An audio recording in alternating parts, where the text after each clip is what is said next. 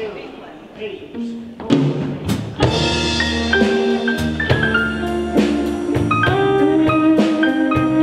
not married, folks, so.